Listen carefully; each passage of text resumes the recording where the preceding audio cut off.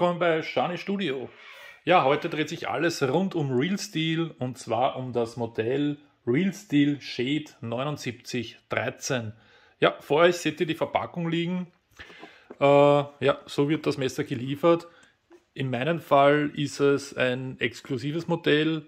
Äh, was es mit dem exklusiven Modell auf sich hat, ja, schauen wir sich gleich ein bisschen näher an. Ja, vorher würde ich sagen, blende ich euch wieder links die technischen Daten ein. Und ich würde sagen, wir legen einmal los. Ja, hier ist das gute Stück. Und äh, vorab muss ich sagen, oder man sieht es auch gleich, es handelt sich um ein Karambit.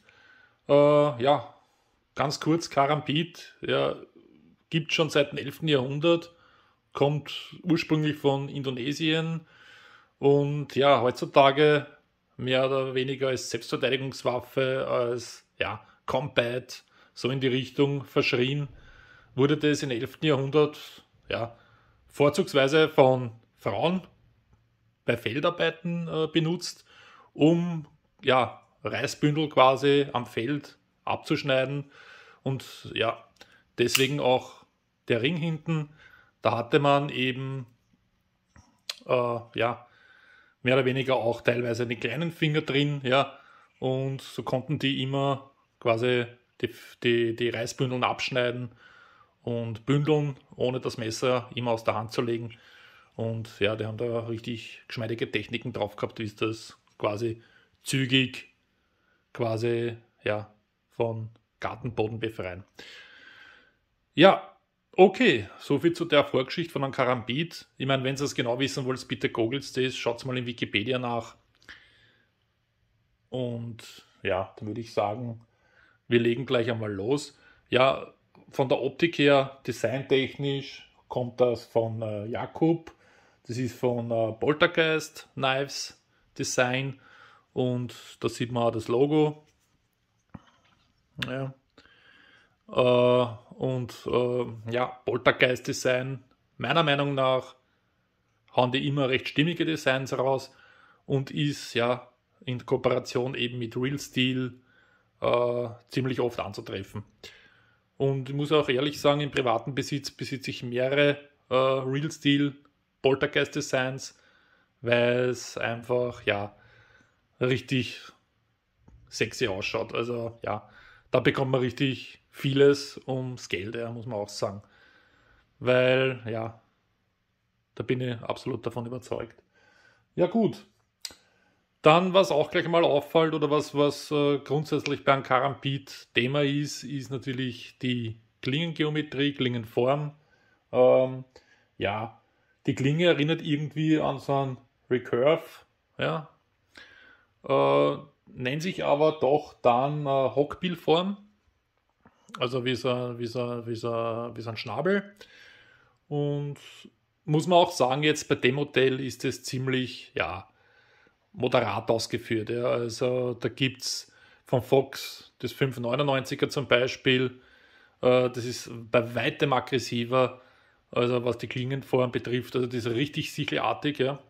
Das ist da jetzt nicht so der Fall. Was wiederum im Alltag äh, Vorteile hat, ja, weil mit so einer Klingenform kann man doch schon im Alltag ein bisschen was an ja, normalen Aufgaben bewältigen. Wobei es bei einem, ja, sage ich jetzt mal, Fox 599er, ja, wenn man da habe ich eher Video mal gemacht, zumindest so ein Unboxing, ziemlich aggressiv wirkt. Na gut, nichtsdestotrotz. Äh, trotzdem, äh, ja, ist es einmal richtig, richtig cool, ja, meiner Meinung nach. Na, finde ich richtig geil.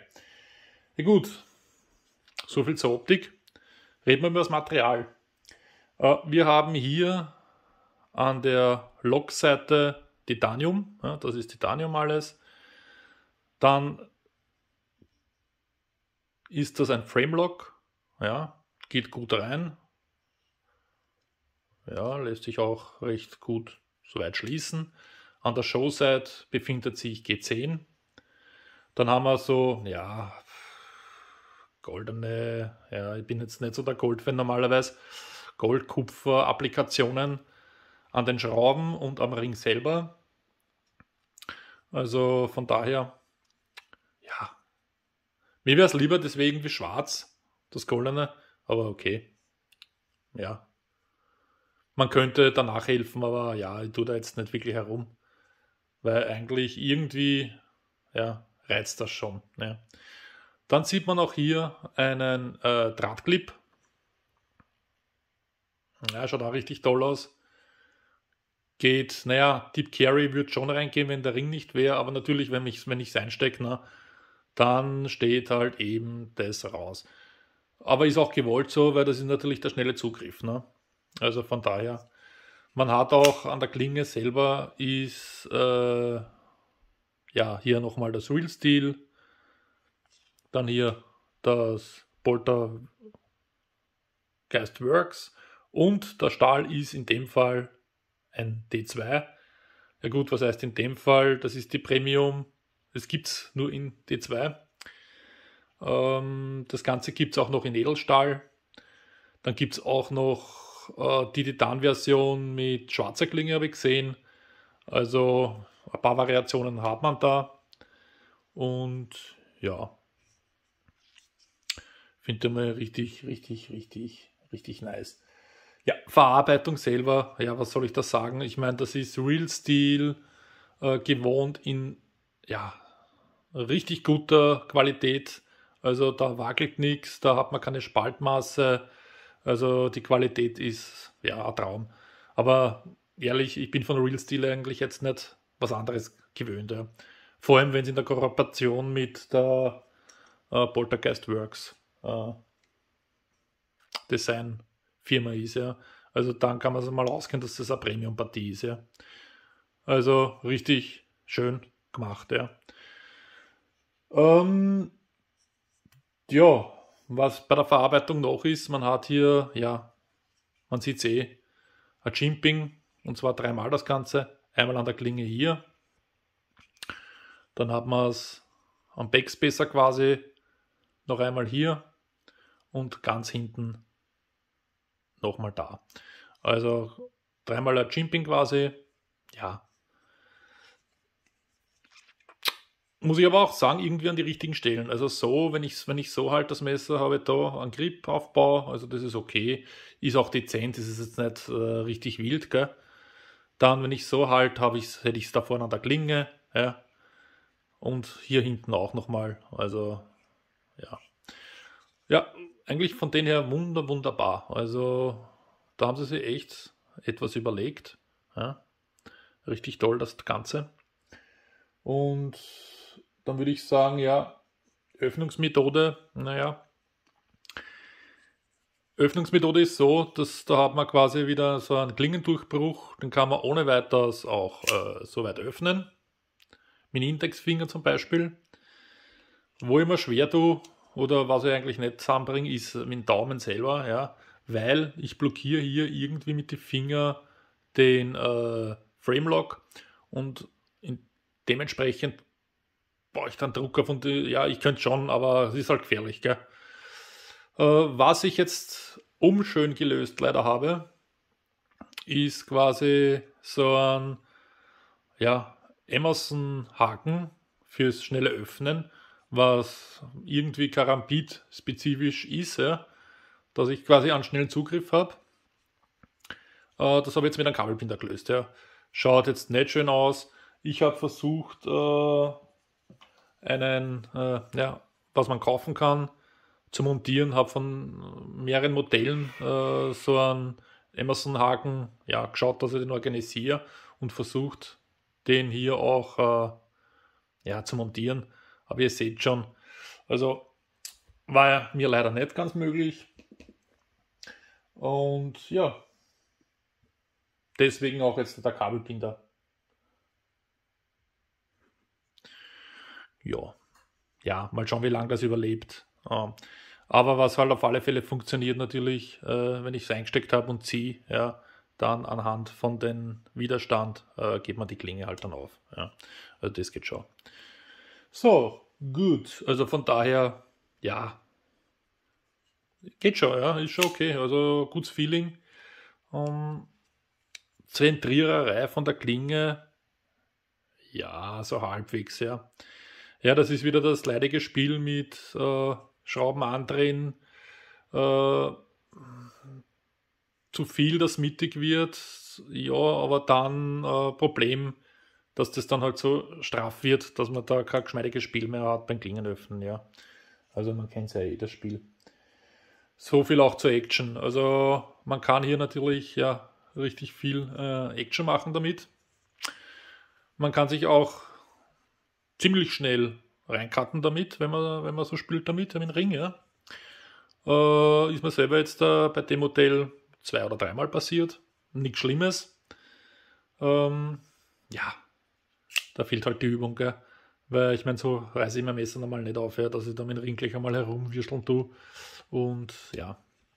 Aber man könnte es machen. Ne? Ja, also von daher äh, echt ein Top-Stachel. Ähm, Nutzung, sage ich mal, ja. Natürlich ist man da ein bisschen limitiert mit der Benutzung anhand der Klingengeometrie und Klingenform. Äh, ja, Hockbillklinge. Ja, es geht, es geht, ja, aber natürlich äh, geht es viel besser. Also Nahrungszubereitungen, äh, irgendwelche Schnippereien. Ja. Das Einzige, wo ich da wirklich die äh, ja, positiven Sachen sehe, wenn es jetzt um Schneidperformance geht, ist ja Boxkarten, solche Sachen. Also da sehe ich das schon. Ja. Aber so Nahrungszubereitung, ja, eher nicht. Ja. Geht aber auch alles, ja. Also, weil, wie gesagt, es ist ziemlich moderat die Klingenform ja, für ein Karambit. Äh, normal ist es extrem sichlartiger. Schaut euch mal das Unboxing Fox 599er von mir an. Also das ist richtig sichlartig. Also da wird es richtig schwierig, was zu öffnen. Nahrungszubereitung etc. pp. Auch das Schleifen ist dann ein bisschen komplizierter, bei denen geht es noch. Ja. Also das ist jetzt nicht die Dramatik an dem Spiel.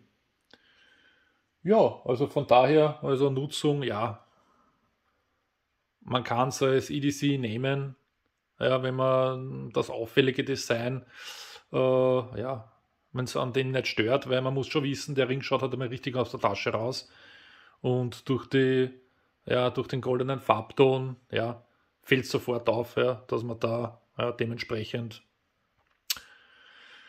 ja, an Karampit eingesteckt hat, ja. Und Karampit, wie gesagt, ist irgendwie negativ, äh, ja, wie soll ich sagen, äh, ja, in der heutigen Zeit der Karampit ist man gleich irgendwie ein Stecherer, irgendwie da gleich mit Angriff und ja.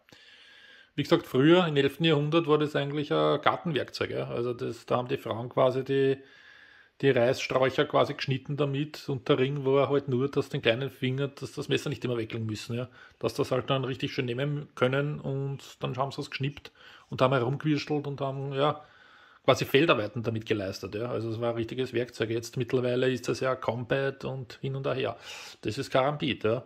Aber ja gut, wenn es an den nicht stößt, ja, kein Problem, dann bitte schaut sich das ein bisschen näher an also ich habe es in meiner Sammlung aufgenommen, habe es da schon ein paar Mal mitgehabt, habe da kein Problem damit. Ich kann es ja für mich rechtfertigen. Äh, und ja, ein tolles Ding. Was negativ ist, ist ja, war negativ, ich bin eigentlich ein Freund, dass ich meine Klinge äh, ja, so gut wie möglich nutzen möchte und keine Einschränkungen haben möchte. Und da geht es los eben mit der Klingengeometrie. Ist nicht hundertprozentig, ja, also für EDC-Bereich. Und wenn ich die Möglichkeit habe, Messer einzustecken, was quasi, ja, überall äh, was zu machen ist, ja, dann ist mit der Geometrie ein bisschen schwieriger. Das zweite, was natürlich aufdringlich ist, ist einmal der, die goldene Farbe. Ja.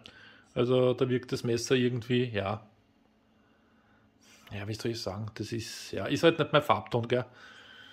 Und ja, aber ansonsten, wie gesagt, von, ich habe mittelgroße Hände vom Handling her, vom Griff her, also passt super in die Hand, lässt sich super kontrolliert führen. Also ja, kann man sich auf alle Fälle näher anschauen. Ja gut, also das war jetzt mein Eindruck. Äh, Messer habe ich jetzt da, ja, drei, vier Wochen ab und an eingesteckt gehabt, ein bisschen herum experimentiert damit. Das sind meine Erfahrungen momentan, ja.